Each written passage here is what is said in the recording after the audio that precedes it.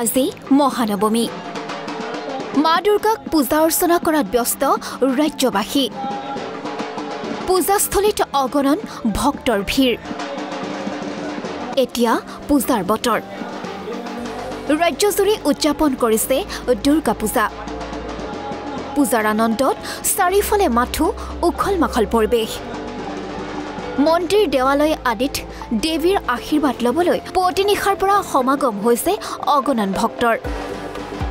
দেৱী বন্দনা ঢাক ঢোল শংখৰ ধ্বনিৰে মুখৰিত হৈ পৰিছে পূজা মণ্ডপসমূহ। চৌদিশে মংগলময় পৰিৱেশ। নৱমীৰ দিনা অসমৰ কেইবাখনো ঐতিহ্যমণ্ডিত পূজাত বলি বিধানৰ প্ৰথা চলি আহিছে। ৰাণী পাটগাঁৱতো প্ৰাকৃতিক পৰিৱেশৰ মাজত অনুষ্ঠিত কৰা হৈছে দুৰ্গা পূজা। এই পূজাত উপস্থিত থাকে অসম লাইফ টুৱেণ্টি ফ'ৰৰ পৰিয়ালৰ অধ্যক্ষ তথা পৰিচালন সঞ্চালক নৃপেন দাসৰ লগতে মুখ্য পৰিচালন সম্পাদক দিগজ্যোতি লহকৰ কাৰ্যবাহী সম্পাদক ৰঞ্জন লাল শৰ্মা মহাপ্ৰবন্ধক দাদুমণি বৰা সহযোগী সম্পাদক কুমাৰজিৎ শৰ্মাকে ধৰি বহু বিশিষ্ট ব্যক্তি।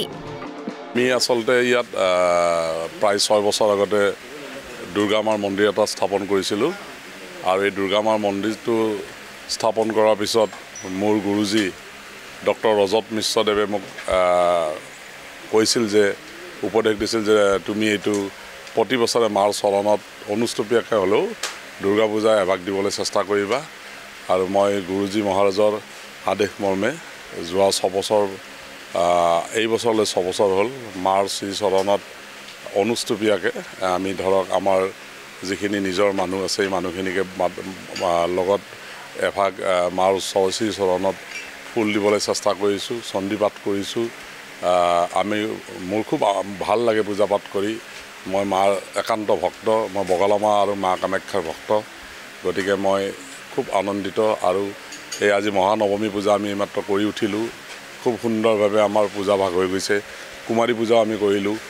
আমাৰ আজি অনুষ্ঠানত আমাৰ চেনেলৰ আছাম লাইভ টুৱেণ্টি ফ'ৰ চেনেলৰ মুখ্য কাৰ্যবাহী সম্পাদক দিগজ্যোতি লহকৰদেৱ কাৰ্যবাহী সম্পাদক Ranjanlal Sharma associate editor Kumarjit Sharma general manager Dadumoni Bora ইস্কনৰ director Kaushik Bhattacharya দেৱ বিজেপিৰ কিষাণ মৰ্চাৰ উপসভাপতি ইন্দ্ৰাণী ফুকন আদি কৰি বিশিষ্ট ব্যক্তিসকল আহিছিল গণ্যমান্য ব্যক্তিসকল তেওঁলোকে পূজা ভাগত ভাগ লৈছিল আৰু মাৰ শ্ৰীচৰণত তেওঁলোকে আশীৰ্বাদ লৈছিল। আৰু পূজা ভাগ কৰি আমি গোটেইবোৰ আনন্দিত। অহা বছৰবিলাকতো আমি মাৰ শ্ৰীচৰণত এনেকৈ পূজা কৰাৰ বাবে আগবাঢ়িম। আমাৰ পূৰ্বপুৰুষে কৈছে যে দুৰ্গা পূজাটো বন্ধ হ'ব নোৱাৰে এইটো শক্তি পূজা। গতিকে মই আজি এই চেগতে মোৰ যিটো পিছৰ জেনেৰেশ্যন আছে মোৰ পিছৰ আপোনালোক বা মোৰ ল'ৰা ছোৱালী তেওঁলোককো মই আহ্বান জনাইছোঁ যে আপোনালোকে পূজা ভাগ চলাই যাব আৰু মাৰ শ্ৰীচৰণত আপোনালোকে আশীৰ্বাদ ল'ব। আজি নৱমী আৰু ইয়াত খুব সুন্দৰকৈ পাতিছে এৰেঞ্জমেণ্টটো আৰু ইয়াতে তেখেতেও খুব সুন্দৰকৈ কৈছে গোটেইখিনিয়ে পূজা কৰিছে খুব ভাল লাগিলে আহি পেলাই।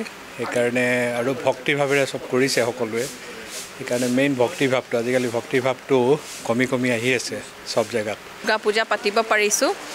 আৰু সকলোৱে ঘৰৰ পৰা ওলাই আহিছে উল্লাসময় পৰিৱেশ এটা হৈছে আৰু খুব ভাল লাগিছে। আৰু মোৰ ফালৰ পৰা সকলোকে শুভকামনা যাতে দুৰ্গা মায়ে এই বছৰটো সকলোৰ কাৰণে ভাল কৰে। ক'ভিডৰ কাৰণে এইবাৰ বহুত মানুহ ওলাই আহিছে অলপ বতৰে দিগদাৰী দিছে কিন্তু ভালেই হৈছে আৰু ভাল লাগিছে।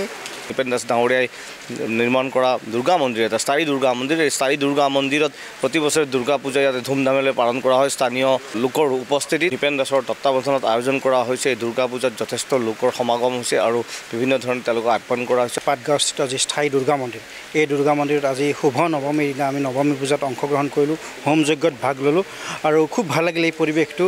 বহু বছৰৰ মূৰত আচলতে আমি এই ধৰণে এটা পূজা উদযাপন কৰাৰ সুযোগ পাইছোঁ আৰু শুভ নৱমীত আমি এই ধৰণে হোম যজ্ঞাদিত ভাগ ল'বলৈ পাই। নিজকে ধন্য মানিছোঁ। এইখন আচলতে আমাৰ অসম লাইফৰ পূজা বুলি ক'ব লাগিব। কাৰণ আমাৰ যিগৰাকী পৰিচালন সঞ্চালক তথা অধ্যক্ষ তেখেতে ব্যক্তিগতভাৱে এই পূজা বহুদিন ধৰি পালন কৰি আহিছে। আমি আশা ৰাখোঁ এইবাৰ দেৱীয়ে যিহেতু হাতীত আহিছে আৰু নাৱেৰে তেওঁ গমন কৰিব। গতিকে সমগ্ৰ বিশ্ববাসীৰ শস্য চিয়মালেৰে সুফল হোৱাৰ যি প্ৰবাদ কৈছে সেই প্ৰবাদ এইবাৰ নিশ্চয়কৈ আমি ফলপ্ৰসূভাৱে পাম বুলি এই পূজাত আশা কৰিছোঁ। পূজাস্থলীত হোম যজ্ঞ সম্পূৰ্ণ হোৱাৰ লগে লগে পুষ্পাঞ্জলি গ্ৰহণ কৰে সকলো ভক্তই। ইয়াৰ পাছতে প্ৰতি বছৰে উদযাপন কৰা মহানৱমী আৰু কুমাৰী পূজা উপলক্ষে পূজাৰীয়ে এই পূজাৰ বৈশিষ্ট্যৰ লগতে কিছু কথা উল্লেখ কৰে। দুৰ্ঘৰ দুষ্ট প্ৰকৃতিৰ মানুহ দানৱ দৈত্য বস কৰাৰ কাৰণে দেৱীৰ সৃষ্টি হয়। যেনে অস্থি গৈশ্যতমম বিপ্ৰম সৰ্বভূত উপকাৰম দৈবাস্তু কৱচম তৎসিনিশ্য মহামনে প্ৰথমম শৈলপুতি দ্বিতীয়ম ব্ৰহ্মচাৰিণী তৃতীয়ম চন্দ্ৰাঘণ্টেদি কুষ্মাণ্ডেদি চতুর্থকম, পঞ্চমম স্কন্দমাতেদি ষষ্ঠম কাত্যায়নী তথা সপ্তমম কালরাত্রেটি মহাগৌরীতি অষ্টমম নবমম সিদ্ধিদাত্রী নবদুর্গ প্রতীকৃতা যে প্রথম শৈল, অর্থাৎ শিশুকাল রূপ, দ্বিতীয় ব্রহ্মচারিণী, তৃতীয় চন্দ্রাঘণ্টি কুষ্মাণ্ডেটি বিস্তাৰ বিকাশ কৰাৰ কাৰণে কুষ্মাণ্ডা ৰূপ দিছিল আৰু পঞ্চমম স্কন্দ মাতিদি ষষ্ঠম কাত্যানী তথা সপ্তমম সপ্তমী তিথিত কালৰাত্ৰি মহাগৌৰী অষ্টম আৰু নৱমম সিদ্ধি